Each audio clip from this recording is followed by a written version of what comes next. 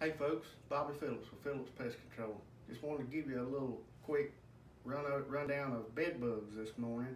Um, I have people all the time call me or when they think they have them, they, they always say, well, I thought it was just a, a myth or, an, a old wives tale, but bed bugs are real.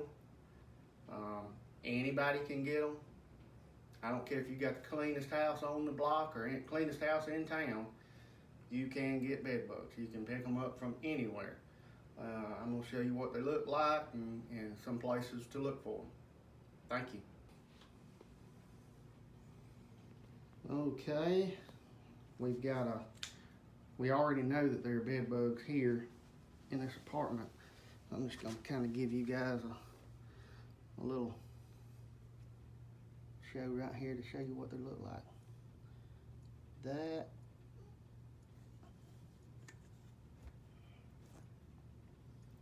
is a bed bug. Right there. We've done, we've already treated around this seams of this mattress, so he's moving kind of slow.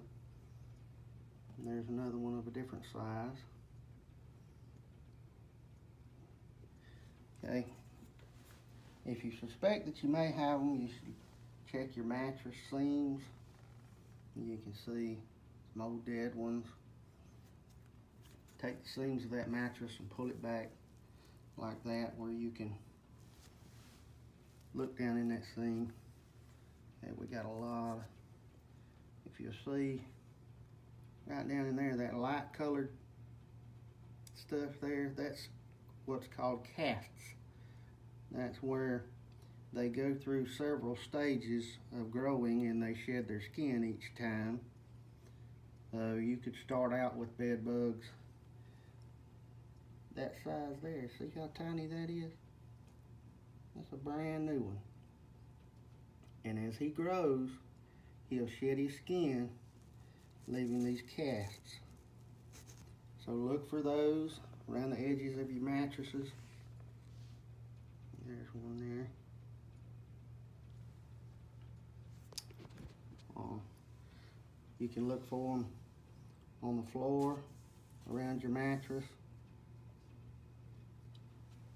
They don't necessarily have to be on your mattress. They could be harboring behind your headboard. They could be harboring in that dresser, anywhere, any little crack or crevice. I have seen as many as six or eight bed bugs, newly hatched bed bugs in the head of a screw. So they can be anywhere and that's why a bed bug treatment has to be so thorough. I always say it's about like moving out of your house and then moving back in after the treatment. Um, you know, some some companies uh, just do one treatment. We at Phillips like to go an extra, go the extra mile. We do, look at all the bed bugs there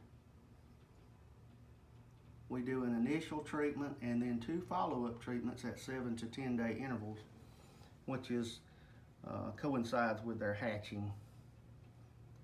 So we like to take an, take an extra step and just to be sure. Um, but like I said, they can be anywhere within 15 feet of where you sleep or rest.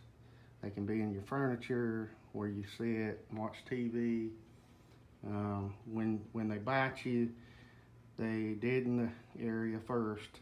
So, you know, nine times out of ten, you'll never know they're even on you. And that's just a little quick tutorial.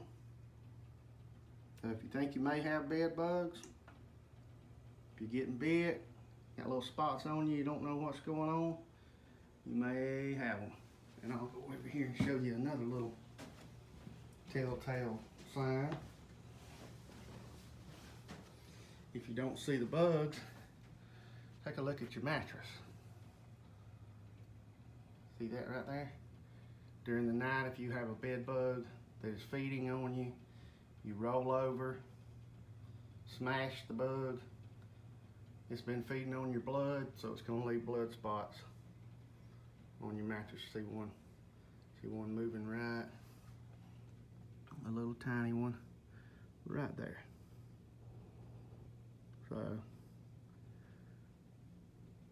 anybody can get them, folks. If you're around South Alabama and you think you got them or you know you got them, call Phillips Pest Control in Opp, Alabama. 334-493-6199.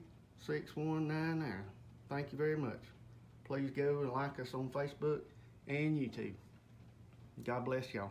All right, bye-bye. Okay, folks. I know a lot of people think that bed bugs just be on your bed. Look here, this is on the back of a recliner. Uh, anywhere where you spend much time, the bed bugs can be there. And they will be there. You know, if you suspect that you have them, you need to check all of your furniture, your mattresses, your dressers, your headboards, bed frames. They can be anywhere. And all of this starts, this was a pretty bad infestation. Generally it starts with one female who can lay up to 500 eggs in her lifetime. And there you have a bedbug infestation. All right, thank you folks.